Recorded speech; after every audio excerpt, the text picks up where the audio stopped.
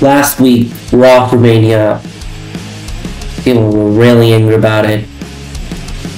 I was angry about it really too. I was angry that Vince was back. And what's up? Let's see that damn new look. You guys get it. The porn star look. It's just sad. But people are calling it say and say the worst draw for Mania. Are you fucking deaf or are you fucking out of your damn mind?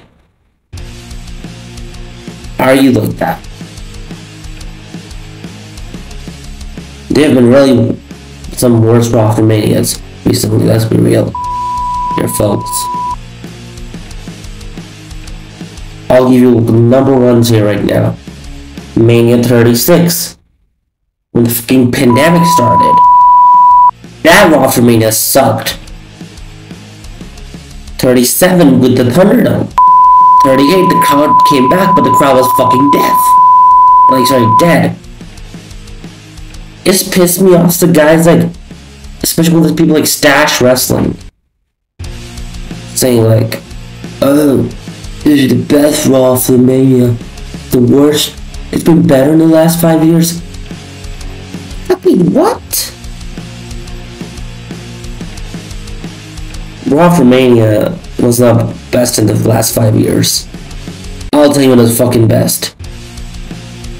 It was best, the last time was 2017. Nothing beats that in my opinion.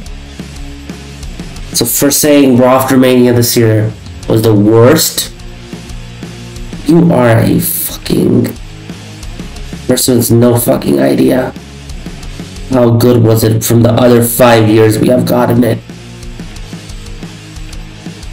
And apparently, like Vince McMahon's booking of Raw for Mania, it was not booked by anybody, it was booked by Vince. Still, it's fucking annoying to think about this, man. We're gonna make a video about this. My podcast or something, they're gonna make a video about this. All the YouTube community and Twitter community fucking on one single shit. Raw for Mania. No. Get your mind fucking straight. And keep it to yourselves. It's not the fucking worst you've ever seen. Show was pretty okay in my opinion. I didn't have to skip that much. I had to skip like one hour only. You guys are fucking spoiled by NXT and Trips' booking. I'm pissed again that Vince was back. This gorilla. But still, no, don't ever, ever comment wrong. Worst Raw after Mania. Might be horrible Raw after a while, for sure. But not the worst Raw after Mania. That fucking boiled my damn blood, bro. Don't say that shit.